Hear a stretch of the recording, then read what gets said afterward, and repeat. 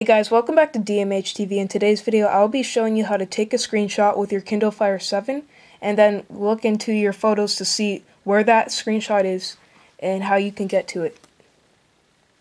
So basically, you're going to hold the top top button here and your volume button right here. At the same time, hold it once.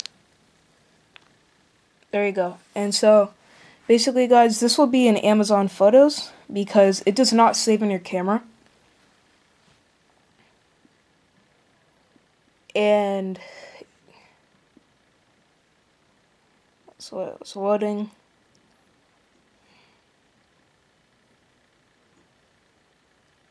So yeah guys, there's this this is the only place that it actually saves your um images into. So there it is guys. It looks exactly like my home screen. Exit out of that.